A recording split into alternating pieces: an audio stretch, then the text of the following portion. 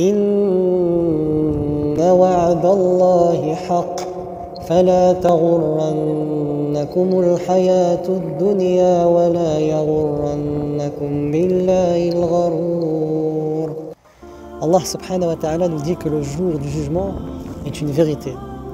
De ce fait, nous devons tout mettre en œuvre pour avoir accès à la miséricorde d'Allah. Et cette miséricorde nous donnera accès à un paradis éternel où le plus grand des cadeaux est de voir notre Seigneur, qu'Allah subhanahu wa ta'ala nous compte parmi eux, par ceux qui vont voir son noble visage.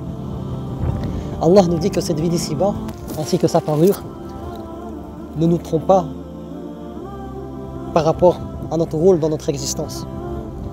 C'est-à-dire que voilà, on doit utiliser cette vie comme un tremplin pour se rapprocher d'Allah, mettre Allah au centre de sa vie et utiliser tous les moyens qu'il nous a donnés pour se rapprocher de lui en lui vouant un culte exclusif, c'est-à-dire faire les choses que pour lui en n'attendant rien des gens. Et Allah nous dit aussi que le diable ne nous trompe pas à son sujet. C'est-à-dire que parfois nous allons être éprouvés et nous allons être dans des situations que l'on déteste et aussi face à des choses contraires que l'on aurait souhaité. Et le diable va profiter pour nous insuffler des choses mauvaises sur Allah. Et c'est là que Allah nous demande de réfuter ces insufflations sataniques et de garder espoir en lui parce qu'Allah subhanahu wa ta'ala nous a promis la délivrance. Allah nous dit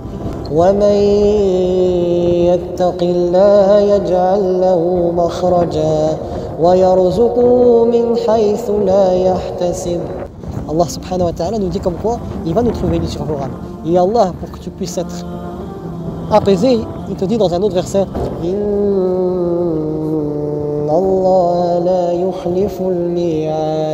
Allah subhanahu wa ta'ala ne manque pas à ses engagements. Donc remets-toi à Allah subhanahu wa ta'ala et tu seras gagnant ici-bas et dans l'au-delà.